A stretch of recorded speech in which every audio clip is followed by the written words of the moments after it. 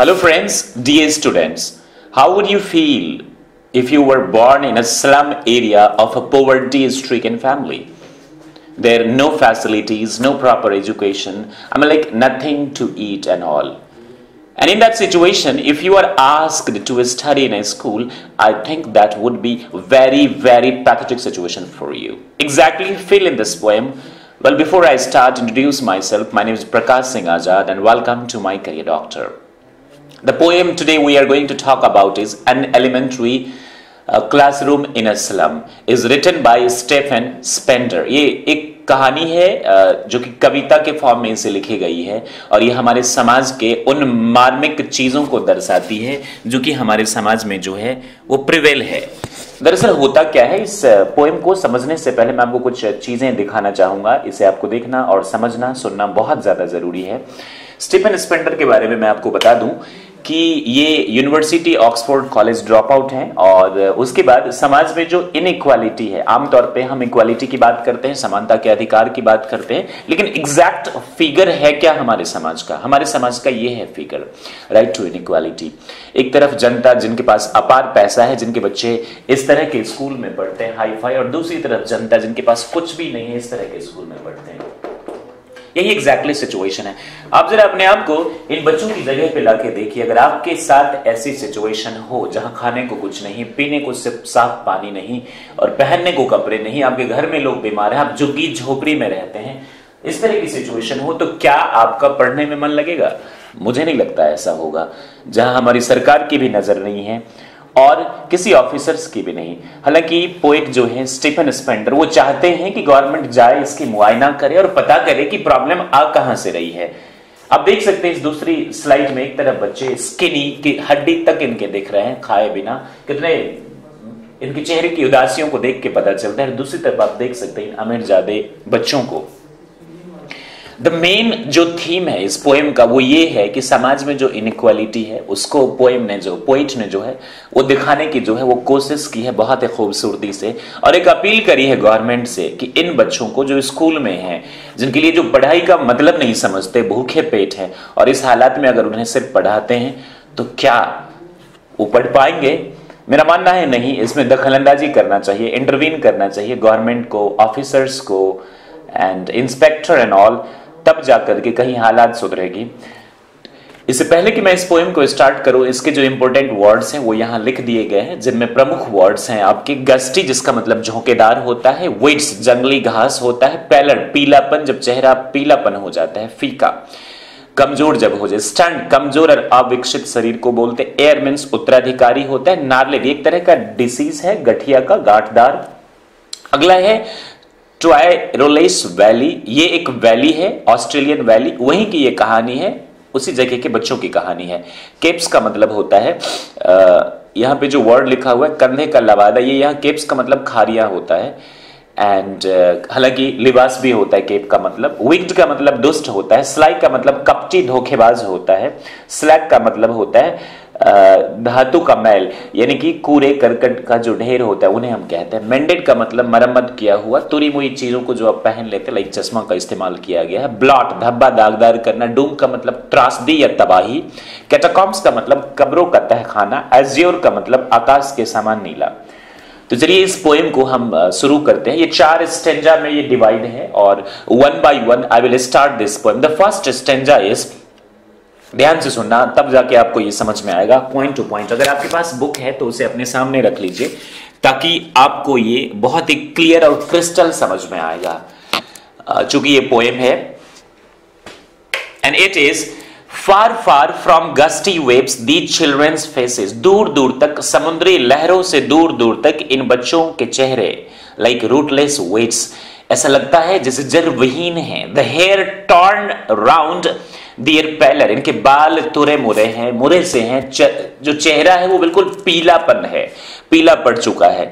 The tall girl with her weighed down head एक लंबी सी लड़की जिसका सिर झुका हुआ है झुका इसलिए है, गरीबी की वजह से, भूख की वजह से, जिसका पढ़ने में बिल्कुल भी मन नहीं लग रहा है। द पेपर स्विमिंग बॉय बिल्कुल दुबला पतला, कागज़ी सा लड़का विथ रैट्स आईज जिसकी आँखें चूहे समान है। यहाँ राइटर ने चूहों समान का ज़िक्र किया है। कहने का मतलब वो डरा हुआ लड़का है, जैसे चूहा हमेशा डर में रहता है।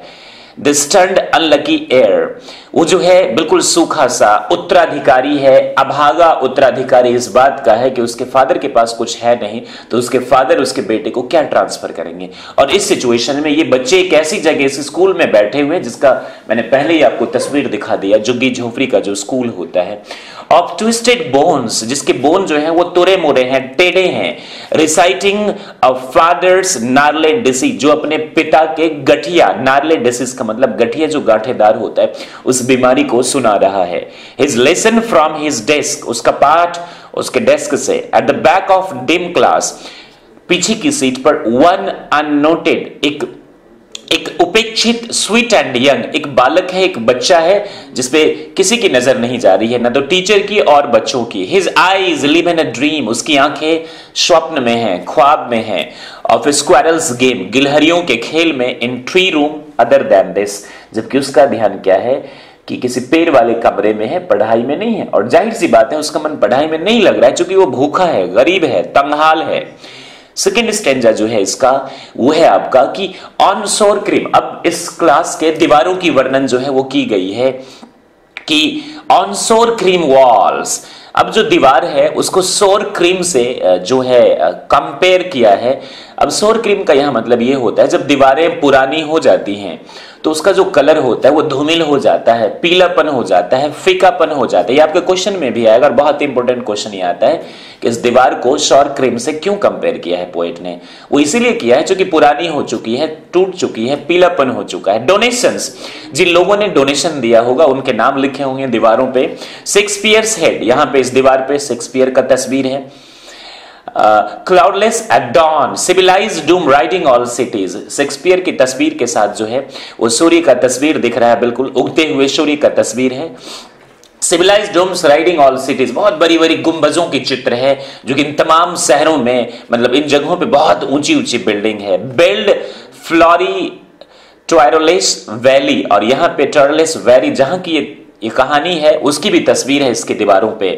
Open handed map awarding the world its world और ये जो मैप है मैप यानी कि ये जो दीवारों पे ये जो तस्वीर है शेक्सपियर की, इस वैली की, इस सूर्य की, ये एक दुनिया है जो दूसरी दुनिया का खुले हाथों से स्वागत कर रही है। And yet for the children लेकिन इन बच्चों के लिए, जिनकी दुनिया ही बिल्कुल, आप देख रहे हैं कि कितनी संकीर्ण है, गरीबी से जूझ रही दुनिया है, जहाँ सरकार का भी ध्यान नहीं है। हालाँकि पोइट ने इस बात को अपील किया है this windows not this map इनके लिए ये, इनकी खिड़की, ये घर, ये स्कूल दियर वर्ल्ड यही उनकी दुनिया है जो अंधेरों से भरा हुआ है। इस मैप का, इस जगह पे मेरे हिसाब से भी कोई मायने नहीं है, जो कि इन बच्चों को शायद चुभती है। आगे सुनिएगा, और बिल्कुल बुक पे अपनी जो उंगली है वो रखिएगा ताकि आपको बेटर समझ में आए। बुक हो तो साथ में ले लीजिएगा। हालाँकि यहाँ प्रेजेंटेशन में दिखाया गया है where all their future painted with a fog जिनका जो दुनिया है जिनकी जो भविष्य है वो बिल्कुल कोहरे से कुहासे से जितना धुंध होता है ढक दिया गया है। और ज़ाहिर सी बात है अ नैरो स्ट्रीट सेल बिल्कुल एक संगरी सी एक, एक स्ट्रीट है एक गली है इन विथ लीड स्काई जो कि आगे जाके खुलती है बिल्कुल स्काई uh, में और वहाँ कुछ भी नहीं है अपॉर्चुनिटीज़ नहीं है इन बच्चों के लिए। फार फार फ्रॉम रिवर्स दूर दूर तक आप नदियों की बात करें केप्स की बात करें खारियों की बात करें और स्टार ऑफ़ वर्ल्ड्स की बात करें दूर दूर तक इनकी जो दुनिया है वो धुंध से भरी हुई है। तीसरा स्टैंडा जो इसका है उसकी शुरुआत इस तरह श्योरली अब इन तस्वीरों की बात की है पोइट पोइट ने। श्योरली खास तौर पर शेक्सपियर इज़ अ विक्ड इन बच्चों के लिए शेक्सपियर दोस्ती होगा। हालाँकि रियल ज़िंदगी में Shakespeare is not a wicked but इस पोइट पोइम के हिसाब से जो शेक्सपियर है, वो विक्ड है। क्योंकि इन बच्चों को अभी चाहिए भरपेट भोजन एजुकेशन की सही व्यवस्था, वो तो है नहीं, और आप इन्हें शेक्सपियर की तस्वीर दिखा रहे हैं, महात्मा गांधी की तस्वीर दिखा रहे हैं। तो इनको क्या पता चलेगा उनकी एक्सपीरियंस हालाँकि शेक्सपियर एक ऐसे इंसान है जिनकी वजह से इंग्लिश लैंग्वेज में रेपुलेशन आया। The map a bad example इनके लिए, इन बच्चों के लिए जो मैप है, वो भी एक बुरा एग्ज़ाम्पल होगा। विथ शिप्स जिस पे क्या है, जिस मैप पे क्या है, जहाजें हैं एंड सन सूर्य का एक तस्वीर है and love tempting them to steal ये तमाम चीज़ें जो सूर्य उगते हुए सूर्य की तस्वीर शेक्सपियर की तस्वीर, ये मैप इन बच्चों को चोरी करने को फ्रॉड करने को, भीख मांगने को उकसाते हैं। चूँकि ये अपने जीवन यापन इस मामूली से कमाई में कर नहीं पाएँगे तो फिर उनके पास ऑप्शन ही क्या बचता है? फॉर लाइफ जिंदगी के लिए that slightly turn in there cramped holes और इनकी जो ज़िंदगी है, बिल्कुल एक क्रैम्प्ड होल्स में तब्दील हो चुकी है। इनके घर को आप देखें, कैसे सिचुएशन में ये रहते हैं, किस तरह से अपना जीवन यापन करते हैं। From fog to endless night और इनकी जो दुनिया है, बिल्कुल कुहासे से एक अनंत रात तक सीमित हो गई है, जिसका अंत कभी भी नहीं है। ऑन दियर स्लैग हीप और कूड़े के ढेर पर जो ये बच्चे बैठे रहते हैं दी चिल्ड्रन ये बच्चे wear skin peeped through by bones and spectacles of steel जरा ध्यान से इस पंक्ति को सुनिएगा। वियर स्किन इतने पतले पतले कपड़े हैं और जिनसे कि इनकी हड्डियाँ भी दिख जाती हैं by stones by bones and spectacles of steels और बाय स्पेक्टिकल्स ऑफ़ स्टील इन्होंने जो पहन रखा है, जो चश्मा विथ मेंडेड ग्लास जो बिल्कुल तुरे मुरे ग्लास से बने हुए हैं, शीशे से लाइक बॉटल बिट्स और स्टोन और ऐसा लगता है, जैसे कि पत्थर पे शीशे को चिपका दिया गया है। इतने दुबले पतले हड्डी तक दिख रही है इनकी। All of their time and space is foggy slum इनका पूरा समय और पूरा जगह जो है वो फॉगी स्लम है, बिल्कुल कुहासा, धुंध से भरा हुआ जो है, वो स्लम है। So blot their maps with slum as big as doom और ये जो मैप है, ये तो बिल्कुल ऐसा जैसे त्रासदी का एक नमूना है, जो इन बच्चों को चोरी करने से, कुछ गलत करने से उकसाती है। फोर्थ और जो लास्ट स्टेंजा है, यहाँ पे पोइट ने अपील करी है। अपील की है इसको सुनिएगा। अनलेस गवर्नर इंस्पेक्टर विजिटर जब तक कि इस जगह पर कोई गवर्नर ना आ जाए इंस्पेक्टर ना आ जाए कोई विजिटर आगंतुक ना आ जाए कोई एनजीओ वाला ना पहुँच जाए इनकी स्थिति को देखने के लिए और तब बात करें राइट ऑफ़ इक्वलिटी की।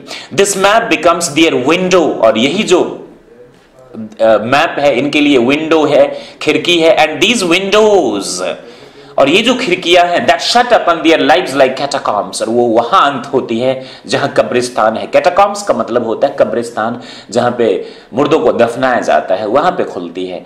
ब्रेक ओ ब्रेक पोइट कहते हैं स्टीफन स्पेंडर कहते हैं कि ब्रेक ओ ब्रेक इन्हें तोड़ो, इन खिड़कियों को तोड़ो। Open till they break the town तब तक, जब तक कि शहर न दिख जाए इन बच्चों को। And show the children to green fields इन्हें हरी भरी जगह दिखाओ एंड मेक दियर वर्ल्ड इन्हें अपनी दुनिया बनाने दो, इन्हें पढ़ने लिखने दो, इन्हें कुछ अच्छा बनने दो। तभी हम राइट ऑफ़ इक्वालिटी की बात करेंगे राइट टू इक्वालिटी की बात करेंगे। Run azure on gold sand जहाँ सुनहरे रेत पर, नीले आसमान में ये दौड़ेंगे बच्चे and let their tongues run naked in books और इनकी जबान को किताबों पे चलने दो। The white and green lips open जहाँ पे खुले हुए, बिल्कुल वाइट एंड ग्रीन लिप्स हैं हरे भरे सफ़ेद पत्ते हैं। लास्ट का एक बहुत इंपॉर्टेंट लाइन है, वो है कि history theirs whose language is the sun यानी कि इतिहास उसका है, जिसकी भाषा शौर्य है। मतलब the people who make history are ones who speak इतिहास वही लोग रचते हैं, जो बोलते हैं, जो जो सोचते हैं, जो फील करते हैं और जो शौर्य को एंजॉय करते हैं। कहने का मतलब जो पढ़ाई लिखाई करते हैं जो अपनी बात सुनते हैं, अपनी बातों को समझते हैं और अपने सामने रखते हैं। अब जो इस चैप्टर के जो इंपॉर्टेंट क्वेश्चंस हैं मैं उसकी बात करूँगा। टेक्निकल फॉल्ट्स लग रहा है मुझे कंप्यूटर में something and all but please hold on for some time और जो इसके कुछ क्वेश्चंस हैं, वो मैं आपको करवा देता हूँ। ध्यान दीजिएगा। पहला क्वेश्चन है ऑब्जेक्टिव पाँच क्वेश्चन है। तीन आपके सब्जेक्टिव हैं और एक मैं टेक्निकल आपको क्वेश्चन जो है, वो करवा दूँगा। पहला क्वेश्चन है the tall girl which her head weighed down means जो लंबी सी लड़की जिसका ज़िक्र किया था, उसका सर क्यों झुका हुआ था? इसका रीजन है has her head bent with shame ये रीजन नहीं है। ये रीजन है, इसका जो करेक्ट आंसर है कि वो इल एंड एग्जॉस्टेड है। वो बिल्कुल थकी हुई है, बीमार है, भूखी है, इसलिए उसका जो सर है, वो झुका हुआ है गरीबी के। इसका आंसर जो है, वो पहला ही आंसर होगा। दूसरा है the paper swimming boy with rat's eyes means वो लड़का जो बिल्कुल दुबला पतला है और उसकी आँखें चूहों समान इसका क्या मतलब है? इसका मतलब है कि जो लड़का है, वो दुबला पतला है हंग्री एंड वीक है। दूसरा इसका ऑप्शन जो है, वो करेक्ट है। तीसरा है द स्टंड यानी कि सूखा अनलकी एयर उत्तराधिकारी जो बिल्कुल अभागा है, जिसके पास कुछ भी नहीं है ऑफ़ ट्विस्टेड बोन्स मीन्स इसका क्या मतलब हुआ है? इसका मतलब हुआ है वाज शॉर्ट एंड बोनी जो कि बहुत छोटा सा हड्डी जिसकी बिल्कुल कमज़ोर है, तुरे मुरे हुए। दूसरा आंसर इसका सही है। तीसरा क्वेश्चन है his eyes live in dream उसकी आँखों स्वप्न में रहती है स्क्वायरल्स गेम गिलहरियों के खेल में। In the tree room tree room में अदर देन दिस इसका मतलब हुआ कि द बॉय जो है डिस्ट्रैक्टेड फ्रॉम द लेसन उसका बिल्कुल पढ़ने में मन नहीं लग रहा है। ज़ाहिर सी तौर पे उस चीज़ का ज़िक्र किया गया। है ये वाला उसका आंसर है तीसरा है the children's face are compare to rootless weeds यहाँ जो बच्चों के चेहरे हैं, वो मूल विहीन जड़ से कंपेयर किया गया है, जंगली पौधों के जड़ से। यस इसका मतलब होता है आर इल फेड वो बिल्कुल जो है इल फेड है और इसी वजह से ऐसा हो रहा है। दूसरा इसका आंसर जो है वो करेक्ट है।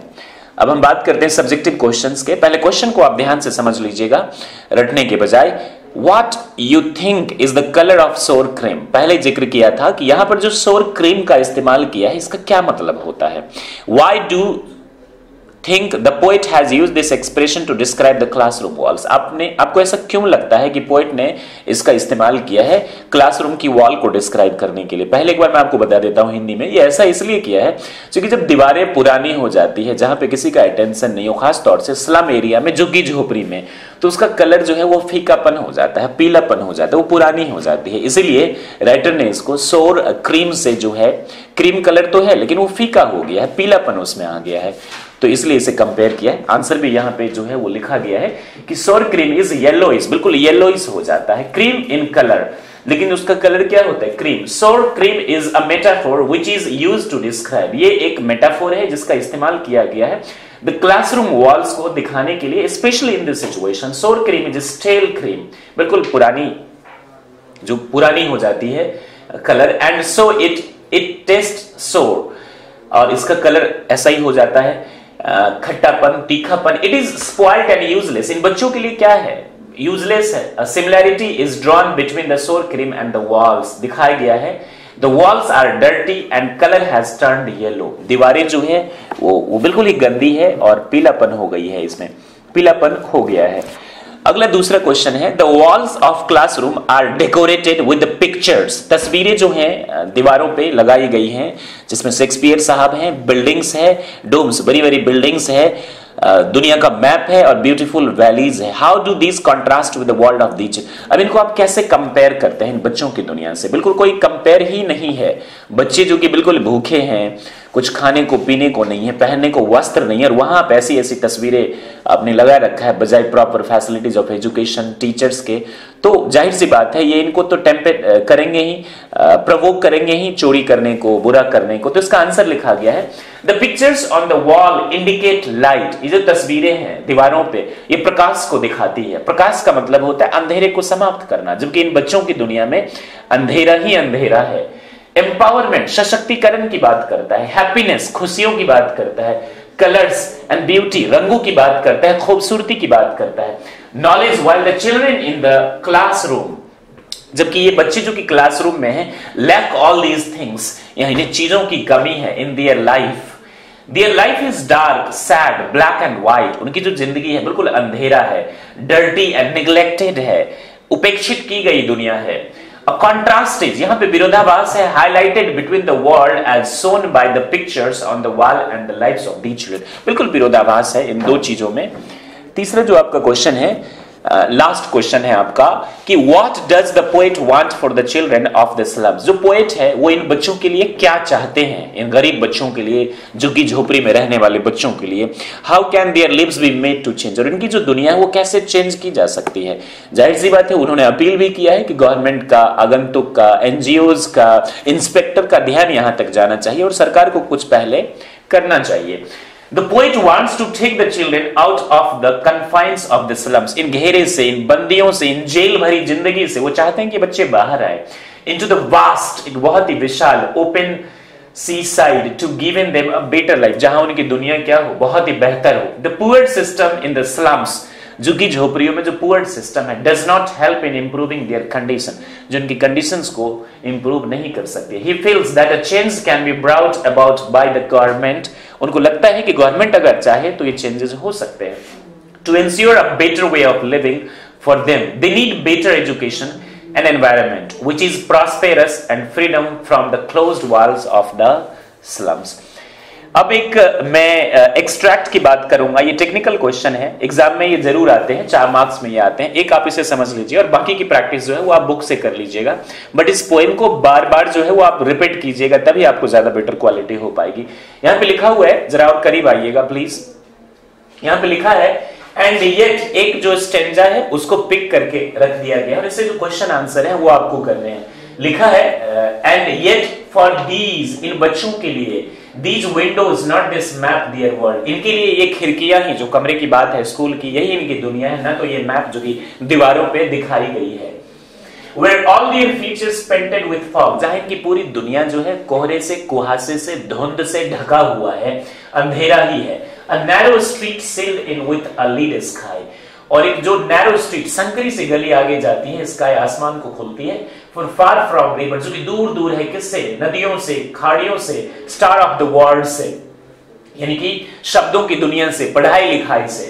अब इसके जो कुछ क्वेश्चन है, वो इस तरह के एग्ज़ाम में आते हैं। ये स्टेंजा आपको रख देगा एक एक एक छोटा सा पैराग्राफ और क्वेश्चन आएँगे। हु आर दीज ये बच्चे कौन है? ये बच्चे हैं टायरोल वैली के बच्चे हैं जो कि स्लम में रहते हैं। एक नंबर का आपका एग्ज़ाम में क्वेश्चन आएगा। इसका आंसर देना बहुत ईजी है। आप इसे ध्यान से बस पढ़ लीजिएगा। What is their world like इनकी दुनिया कैसी है? The school windows are their world इनकी दुनिया स्कूल है और स्कूल की जो खिड़कियाँ वही है, जहाँ से ये लगातार बाहर देखते रहते हैं, ताकते रहते हैं। Because they can not move beyond them क्योंकि ये इससे बाहर जा ही नहीं सकते। What kind of future does the poet foresee for them poet इनके लिए कौन सा फ्यूचर देखते हैं the future of these children is quite dim इनकी जो दुनिया है बिल्कुल डिम है धुंधला है as we can't see things in the fog क्योंकि हम चीज़ों को धुंधली फॉग में हम नहीं देख सकते In the same way of the future, these children is looming under darkness. इनकी जो ये अंधेरे में ये बच्चे खोए हैं their future is bleak. बिल्कुल धुंधला सा उनका दुनिया है लास्ट क्वेश्चन है why does the poet say that the narrow street is sealed? ये पोइट ऐसा क्यों कहते हैं कि जो नैरो पतली सी संकरी है, वो आगे बंद है? बंद इसलिए चूँकि आगे इनको फ्यूचर नहीं दिख रहा है। अंधेरा अंधेरा सा है। जहाँ वो खुलती है, वहाँ सिर्फ़ नीला आसमान है, कुछ है ही नहीं इसके अलावा। चूँकि स्लम के बाहर इनकी दुनिया सिर्फ़ आपको पता ही है रियल लाइफ में होता क्या है, कितनी पैथेटिक इनकी दुनिया होती है। तो the narrow street is sealed as these provide no opportunities क्योंकि आगे इनके लिए कोई अपॉर्चुनिटीज़ नहीं है। To make an access to the outer world of wisdom. bahar ki duniya ke liye koi access nahi hai so friends this was all about the poem an elementary slum uh, i beg your pardon an elementary school in a slum area which is written by Stephen Spender. That's all from my side. I wish you all the best. Thank you very much